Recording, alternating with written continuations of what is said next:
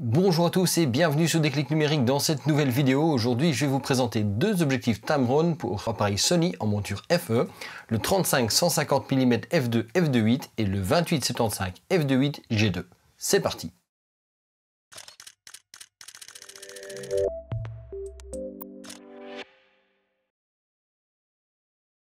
Alors d'entrée de jeu, pourquoi vous parler directement de deux objectifs? Tout simplement parce qu'ils font partie de la nouvelle génération des objectifs Tamron qui viennent apporter des fonctionnalités complémentaires, notamment grâce à un port USB directement intégré à l'objectif. Mais ça j'en reparle un petit peu plus tard dans la vidéo. Et ici on va commencer par déjà présenter le 28-75 f2.8 G2. Le Tamron 28-75 mm f2.8 DI3 VXT G2 est donc la deuxième version de cet objectif qui avait déjà connu un franc succès au niveau de la première version. Cette fois-ci, on a une amélioration principalement au niveau de la construction et au niveau des performances optiques qui étaient pourtant déjà excellentes. On retrouve donc ici un objectif standard d'une taille euh, très modeste et d'un poids vraiment euh, minimal puisqu'il s'agit d'un objectif qui pèse pas plus de 540 grammes pour une plage focale de 28 à 75 mm avec une ouverture f2.8 constant. On a un diamètre de filtre de 67 mm, une construction très légère en matière synthétique mais euh, de très bonne qualité avec une bague de zoom parfaitement positionnée que l'on tient extrêmement bien en main et qui est large et très fluide. On a également une bague de mise au point qui pour le coup a été un petit peu élargie ce que je trouve vraiment très appréciable. Elle vient se positionner parfaitement au niveau euh, des doigts quand on a la main sous l'appareil, ce qui permet d'ajuster à la fois euh, le focal et à la fois la mise au point euh, simplement en bougeant légèrement les doigts. On retrouve le bouton fonction très apprécié au niveau des objectifs des appareils Sony, mais bien plus encore parce que ici maintenant, et ça c'est tout nouveau sur ces deux objectifs que je vous présente, l'objectif est muni d'un port USB-C qui va permettre de le raccorder directement à un ordinateur pour le customiser, mais ça je vous en parle plus tard. Dans ces autres caractéristiques, on a un diaphragme à 9 flammes qui permettent d'avoir donc des transitions dans le bokeh qui sont vraiment très belles. Je vous montrerai ça d'ailleurs en passant dans les exemples. Et l'objectif est bien entendu résistant à la poussière, à l'humidité, avec des joints d'étanchéité partout là où il faut. Alors côté performance, j'avais eu l'occasion d'utiliser un tout petit peu la première version, pas des matchs, j'en avais pas fait de test, mais ici avec la version 2 que j'ai eu maintenant depuis plusieurs semaines, j'ai vraiment eu l'occasion de m'amuser et je dois dire que cet objectif m'a complètement bluffé, euh, tout simplement parce que il est impeccable. Je n'ai vraiment aucun reproche à lui faire d'un point de vue optique.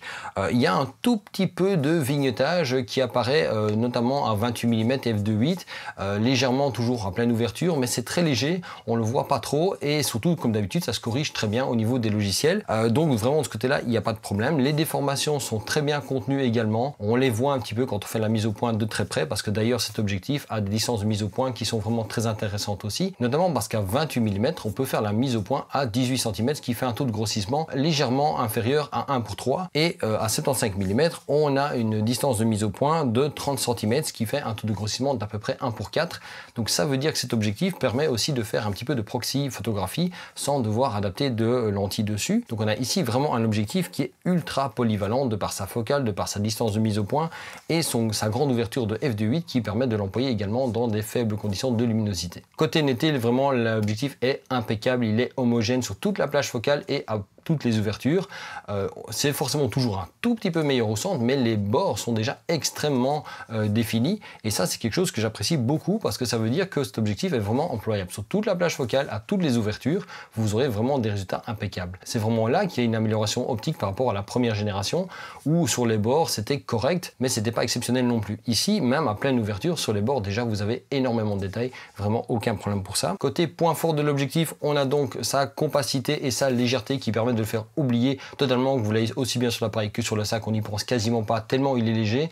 La prise en main est excellente, la taille des bagues, la position des bagues est vraiment superbe, la possibilité d'avoir ce bouton de fonction complémentaire est également euh, très appréciable. Euh, les performances optiques sont vraiment impeccables, là vraiment je n'ai rien à redire. Euh, on voit un tout petit peu de déformation mais ça se corrige parfaitement bien au niveau des logiciels. Idem pour le vignettage, il est très léger à pleine ouverture et il n'y a pas de problème avec ça, ça se corrige de nouveau très bien dans les logiciels. Le seul petit bémol que vous pourriez trouver à cet objectif, c'est qu'il est dépourvu de stabilisation optique. Il se base donc uniquement sur la stabilisation optique de votre boîtier, mais c'est ce qui permet d'en faire un objectif qui est à la fois polyvalent, performant et ultra léger. Donc si je devais vraiment résumer cet objectif pour lequel je suis vraiment très très très enthousiaste, c'est rare que j'ai un objectif comme ça qui me plaît autant en main. Euh, je pourrais tout à fait remplacer mon 2405 euh, de Sony avec, clairement, euh, parce que celui-ci est bien plus compact et bien plus pratique à utiliser et la différence de plage focale entre 75 et 105 mm, je pourrais tout à fait m'en accommoder. Mais voilà, si je devais le définir rapidement, ce serait performance, polyvalence et portabilité.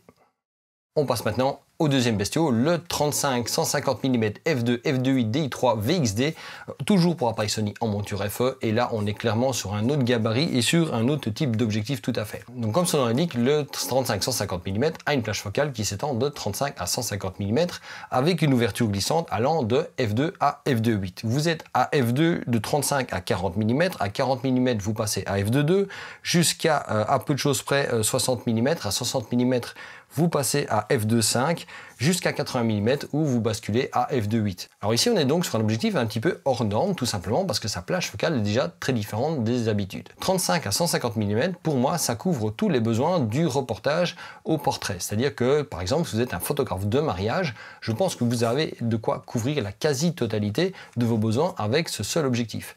Même chose si vous faites du portrait de 35 à 150 mm, vous avez globalement tout ce que vous avez besoin. Et tout ça avec une grande ouverture. L'objectif est extrêmement bien construit. Là, on retrouve vraiment la gamme de qualité d'objectif qu'on avait dans les G2 euh, de Tamron pour appareil photo réflexe. C'est vraiment exactement les mêmes structures, la même construction, le même rendu et la même qualité quand on a l'objectif en main.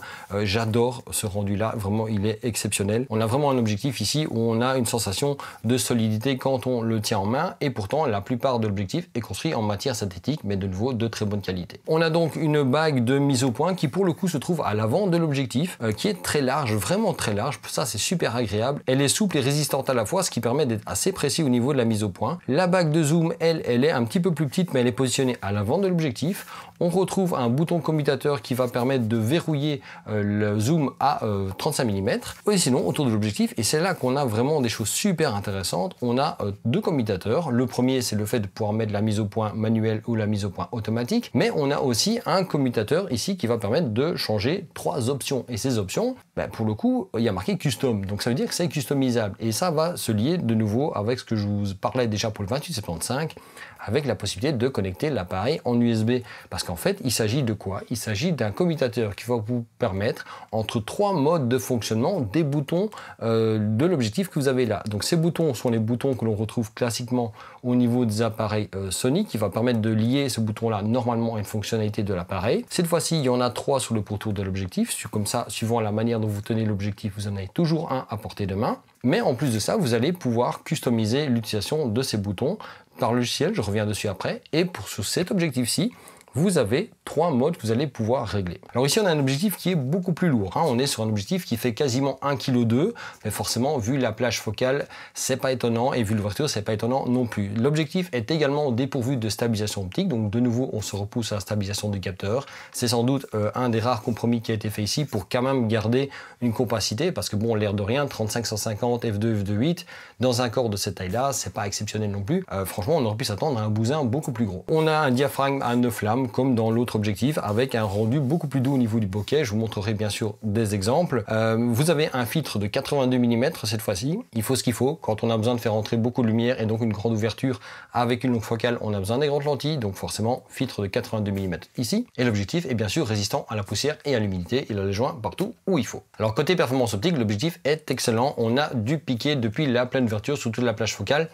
Euh, un petit peu moins homogène que 28-75. Les bords sont un tout petit peu moins bons, mais ils sont quand même excellents. Euh, vraiment très bien. Pour un objectif qui a cette plage focale là et cette plage d'ouverture là aussi, vraiment ça se défend euh, super bien. petit bémol sur le vignetage que je trouve fort présent, surtout à f2 à 35 mm et également quand même aussi à 150 mm à f2.8. vraiment à pleine ouverture, le vignetage est très présent mais c'est pas un vignettage qui est trop dérangeant parce que si je considère l'utilisation de cet objectif en portrait ou en reportage, généralement quand même les bords, ben, c'est rarement l'endroit où on a le plus d'intérêt. Donc que ce soit plus foncé, ça pose pas trop de soucis et de toute façon ça se corrige parfaitement bien au niveau du profil intégré euh, à l'objectif, donc aussi bien dans le boîtier que dans le logiciel, vraiment aucun problème pour ça. les déformations sont présentes, énorme non plus, mais à 150 mm, je trouve la déformation ondule un petit peu, ça fait un peu bizarre quand on regarde l'image non corrigée, mais de nouveau, ça se corrige très bien au niveau du logiciel de post-traitement et même à l'intérieur du boîtier par le profil intégré à l'objectif. Euh, donc il y a des déformations, euh, il y a euh, du vignettage, mais ça se corrige sans aucun problème. La partie où je l'ai trouvé un petit peu faible, par contre, c'est la résistance au flair, notamment quand vous avez une source de lumière trop brillante en plein dans le cadre, vous avez une partie autour de la source lumineuse qui devient un peu laiteuse et vous avez quelques artefacts qui peuvent apparaître. Alors forcément, c'est des conditions extrêmes. quand vous n'avez pas la source dans le cadre, il n'y a aucun problème. Mais dès que vous avez une source dans le cadre, un petit peu sur les bords, il y a des endroits où ça peut être un petit peu délicat. Le diaphragme à 9 lames permet quand même d'avoir un bokeh hit perdu et ça franchement c'est quelque chose que je trouve super dessus. La qualité du bokeh n'a rien à voir avec le 2875 que je trouve pourtant déjà très correct.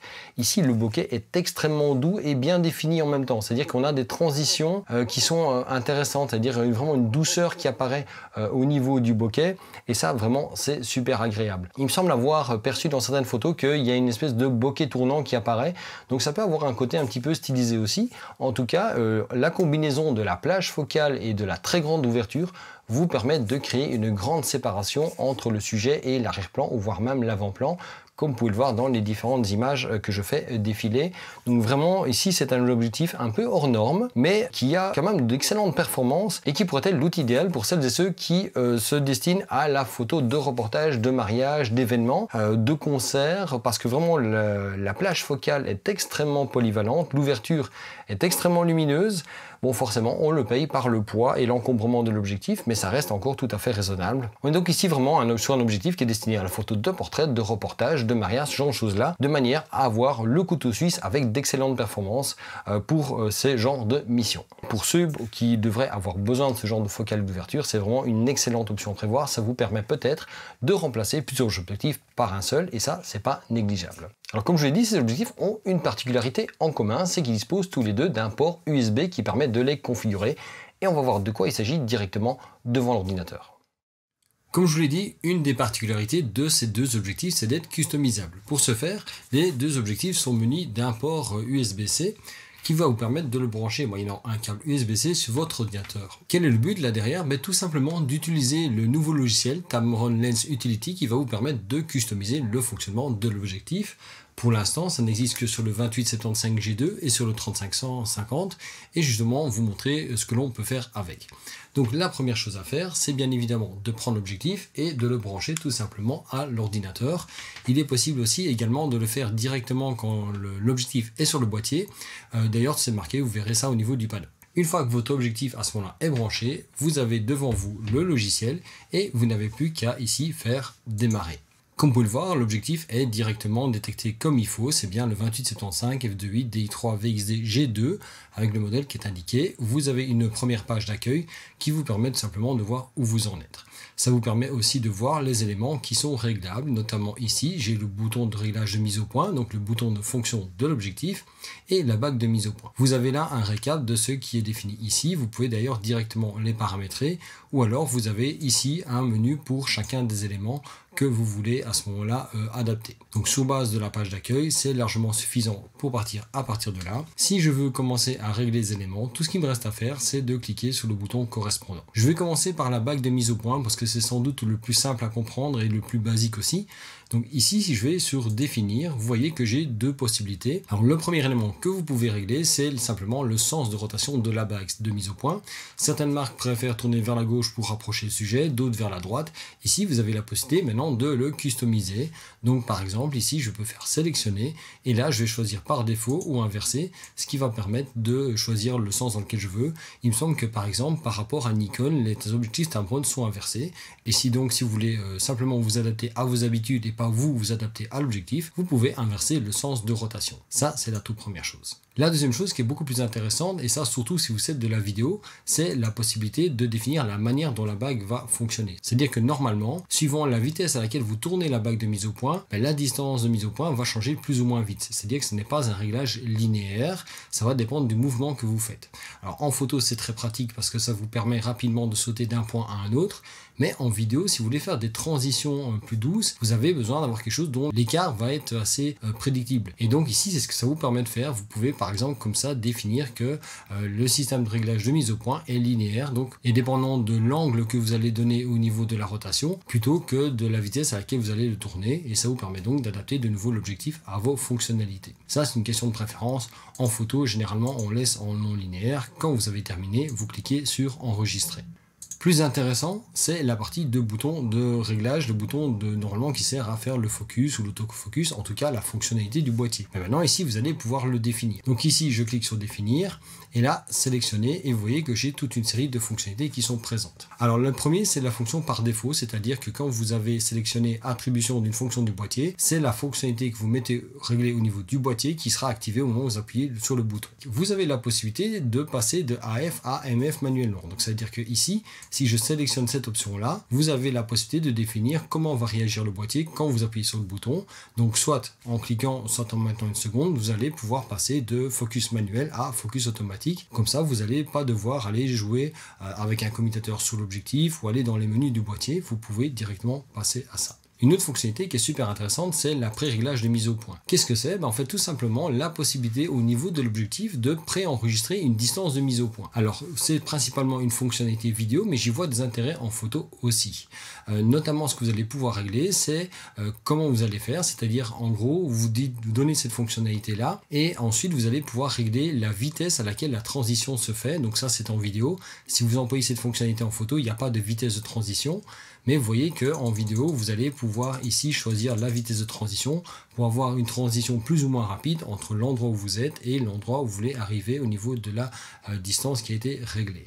Donc je vais laisser ici par défaut, tout bêtement, ça fonctionne. Au moment où vous activez ça, en fait ce qui se passe, c'est que votre objectif ici va à ce moment-là changer de fonctionnalité. Le bouton ici que vous avez au niveau de l'objectif va devenir le, principe d'activation de ce pré-réglage. Ça veut dire que dès que vous avez la mise au point qui est faite sur quelque chose, vous restez appuyé plus d'une seconde sur le bouton et du coup il enregistre à ce moment-là euh, la distance de mise au point qui a été faite au niveau de l'objectif.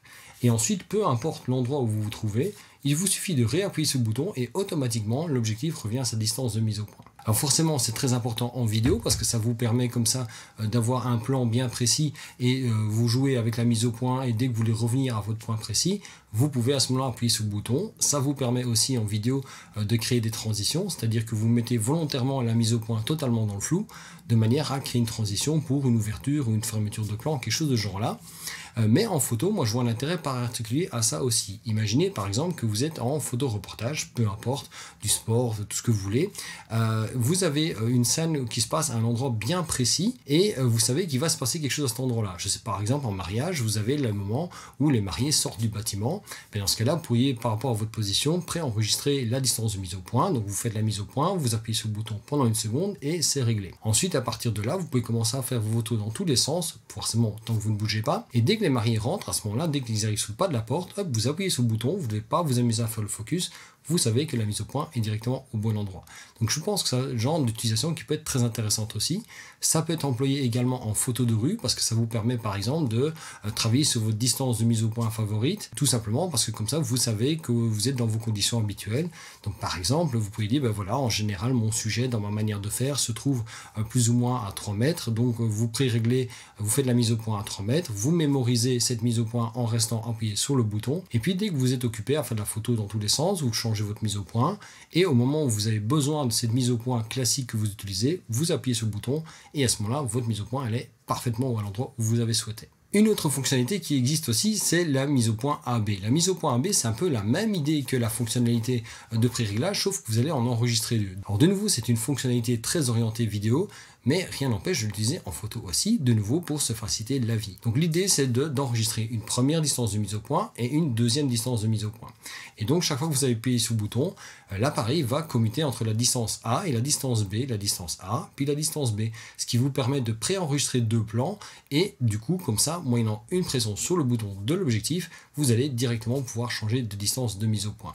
Forcément, le cas classique en vidéo, c'est par exemple l'interview avec deux plans et comme ça vous pouvez moyennant une simple pression sur l'objectif directement faire la mise au point au bon endroit. Ceci dit, en photo, vous pouvez imaginer employer ça aussi. Par exemple, imaginez le passage d'une course cycliste et vous avez deux endroits où vous voulez prendre vos photos, c'est-à-dire là où les coureurs sont très proches de vous, euh, au moment où ils viennent vraiment passer devant vous, et un endroit clé un petit peu au lointain, sorti d'un virage, quelque chose comme ça, mais vous pouvez pouvez tout à fait mémoriser en A cette première façon de faire et en B la deuxième distance. Et comme ça, vous appuyez, vous passez de l'un à l'autre en, appuyant juste sur un bouton sans devoir bidouiller au niveau de l'autofocus. Le principe est exactement le même que pour le pré-réglage. Vous faites votre réglage de mise au point. Ensuite, vous restez appuyé une seconde dessus euh, pour enregistrer la distance.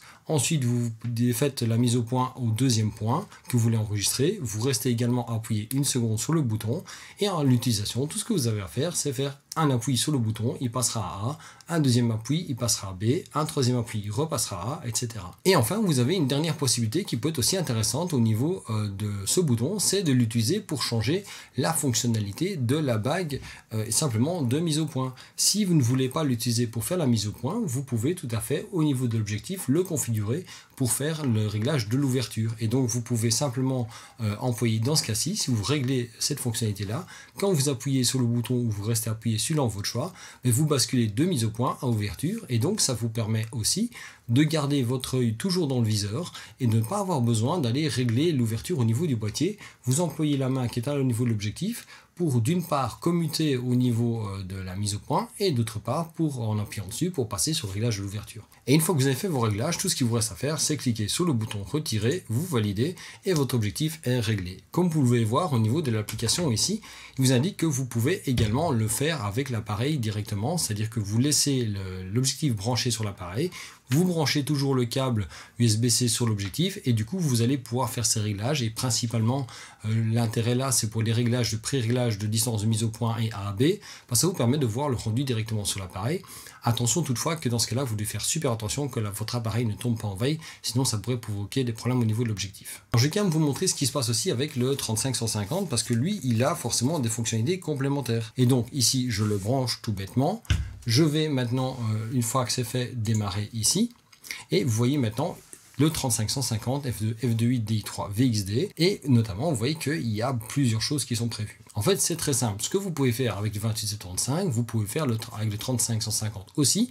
Sauf qu'ici, vous allez pouvoir définir trois sets de customisation. Alors, vous avez la bague, donc la bague de mise au point, c'est exactement la même chose que là tout de suite. Au niveau de la définition, vous pouvez définir le sens de rotation et le fait que vous voulez du linéaire ou du non linéaire. Ça, je reviens pas dessus, c'est exactement le même principe. Par contre, au niveau du bouton euh, annexe, le bouton que vous avez sur le côté, qui existe à trois endroits sur l'objectif, euh, vous allez pouvoir définir trois comportements que vous allez pouvoir choisir en fonction du commutateur. Et donc ici, vous allez donc choisir les réglages Custom 1, Custom 2 et Custom 3 qui correspondent aux trois positions sur l'objectif. Et au niveau de ce que vous pouvez faire avec, vous retrouvez en fait la même idée que ce qu'il y a au niveau du 2875. Donc le fait de le laisser en fonctionnalité euh, du boîtier, ça c'est le réglage par défaut. Le pré-réglage de mise au point, qui est exactement le même principe qu'au niveau du 2875. Donc vous pouvez régler une vitesse de transition et en photo, c'est un basculement instantané qui se fait. Vous avez la mise au point AB qui fonctionne exactement la même manière sous 2875 également. Et vous avez les fonctionnalités de la bague que vous allez aussi pouvoir choisir pour passer euh, de la mise au point ou à l'ouverture suivant ce que vous voulez faire. Et donc vous pouvez le voir, on a exactement les mêmes fonctionnalités au niveau du 3550, si ce n'est que vous pouvez enregistrer un fonctionnement de ce bouton euh, donc de fonction par profil. Et donc vous pouvez décider que par exemple euh, au niveau euh, du premier réglage, vous prenez les fonctionnalités du boîtier. Sur le deuxième réglage, vous dites ben voilà, je veux simplement le fait de pouvoir commuter entre mise au point et ouverture, moyennant un clic, voilà. Et sur le troisième, je vais dire que je vais faire mise au point AB, voilà comme ceci, avec éventuellement une transition un petit peu plus lente. Et comme ça, ça veut dire qu'en fonction de la position du commutateur, je choisis la fonctionnalité de ce bouton-là, et ça me permet comme ça de ne pas devoir revenir au niveau de la configuration. Quand c'est fait, vous en ce que je voudrais quand même aussi préciser, c'est qu'au niveau de la bague de mise au point, alors vous avez le sens de rotation qui est exactement le même, mais au niveau de la méthode de mise au point, euh, là, il y a une grosse différence entre le 2875 et le 3550. Le 2875, vous pouvez juste choisir euh, linéaire ou non linéaire. Ici, si jamais vous passez en linéaire, vous avez également la possibilité de changer l'angle de rotation. C'est-à-dire, vous pouvez définir si le fait de passer de la zone la plus proche à la plus éloignée se fait sur 90 degrés, sur 180 degrés, sur 270 degrés ou 360 degrés. Et ça, je pense que c'est extrêmement intéressant pour les vidéastes, euh, tout simplement parce que notamment, si vous adaptez à ce moment-là un système de motorisation au niveau de la mise au point, ça vous permet d'y voir un petit peu plus clair aussi. Et aussi euh, pour gérer manuellement, parce que l'air de rien, faire 360 degrés autour de l'objectif pour faire la mise au point, c'est plus précis, mais c'est difficile à manipuler, tandis qu'un quart de tour, en 90 degrés, il n'y a pas de problème. Donc ça aussi, c'est une fonctionnalité qui est disponible seulement au niveau du 35-150. Et donc, une fois que vous avez défini vos paramètres, vous enregistrez, vous enregistrez le tout, les paramètres sont définis, vous retirez l'objectif et à partir de là, vous pouvez directement commencer à bosser dessus. Et le dernier point qui est quand même intéressant aussi, à partir du moment où vous euh, gérez votre objectif directement connecté à votre ordinateur, bah, ça veut dire que vous pouvez faire les mises à jour du firmware de l'objectif aussi directement. Il n'est plus nécessaire, comme sur les anciennes générations, d'avoir un adaptateur ou de devoir le monter euh, sur l'appareil pour le faire. Vous pouvez faire la mise à jour et les réglages de votre objectif directement connecté à l'appareil. Et donc si vous avez une mise à jour du logiciel à faire, ça se passe exactement au même endroit. Comme vous voyez, le principe est assez simple en fait. Le principe est tout simplement de pouvoir customiser le fonctionnement de l'objectif euh, sur base d'un réglage logiciel que vous avez fait en amont. Mais ça veut dire que là, vous avez euh, enfin des objectifs que vous allez pouvoir customiser par rapport à votre utilisation. Et donc, forcément, euh, vous n'allez pas employer tous les modes, mais ça vous permet d'avoir des facilités et notamment de pas toujours devoir subir un petit peu la manière dont le constructeur décide que l'appareil ou l'objectif doit fonctionner. Ici, vous avez la possibilité de customiser. Le sens de rotation de la bague, ça paraît tout con, mais quand vous passez d'une marque à l'autre et que tous les objectifs ne fonctionnent pas de la même manière, ça veut dire que vous perdez des automatismes et vous perdez du temps. Euh, le fait de pouvoir euh, définir, par exemple, que la bague permet de gérer à la fois l'ouverture et la mise au point, c'est quelque chose d'extrêmement pratique aussi. Et en plus de ça, ces fonctionnalités de réglage, de pré-réglage du sens de mise au point, c'est quelque chose qui est assez rare. Et il y a des cas dans lesquels ça peut être euh, super pratique si, par exemple, vous travaillez avec des filtres à densité neutre ou des choses comme ça, c'est-à-dire des choses qui vous empêchent un petit peu de faire la mise au point correctement, parce que avez un D1000 ou quelque chose de comme ça devant votre objectif, euh, bah, vous voyez pas du tout à travers. Ça veut dire que si jamais vous avez préparé votre mise au point euh, et que vous, êtes, euh, vous y avez touché par accident, bah, vous allez être obligé de démonter le filtre pour refaire la mise au point. Bah, là, avec l'objectif, avec ce genre d'objectif-là, c'est pas compliqué. Vous commencez par faire votre mise au point avec le système de pré-réglage. Donc dans ce cas-là, vous employez la première fonctionnalité d'enregistrement de distance de mise au point.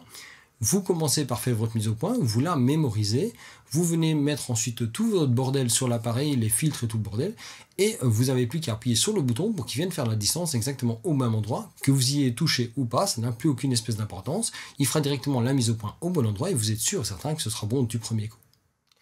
Voilà donc pour la présentation du 2875 G2 et du 35 150 mm f2 f2.8. Comme vous avez pu le voir, ces objectifs sont ultra polyvalents. Le 28-75 mm, c'est vraiment l'objectif à tout faire, le couteau suisse, qui allie à la fois performance, portabilité et polyvalence. Le 35-150, pour moi, c'est vraiment l'objectif idéal pour de la photo euh, de reportage, la photo de concert, du portrait, du mariage. Vraiment, là, vous avez un objectif qui vous permettre de quasiment tout faire et donc, du coup, de ne pas devoir changer. Avec une plage focale super polyvalente, une très grande ouverture et un rendu du bouquet que je trouve vraiment très intéressant. Si jamais vous avez des questions concernant ces objectifs, n'hésitez pas à les poser dans les commentaires de la vidéo. Ils sont là pour ça. Quoi qu'il en soit, si cette vidéo vous a plu, comme d'habitude, likez-la, commentez-la, partagez-la. N'hésitez pas à vous abonner à la chaîne, d'activer les notifications. Comme toujours, vous pouvez me suivre sur Facebook via la page Facebook de Déclic Numérique, qui a le compte Twitter de Déclic Numérique et mon compte Instagram. Vous retrouvez les liens de tout ça à la fois dans la description de la vidéo, mais aussi dans la bannière de la chaîne. Et sinon, moi, je vous dis à la fois prochaine pour une nouvelle vidéo sur Déclic Numérique.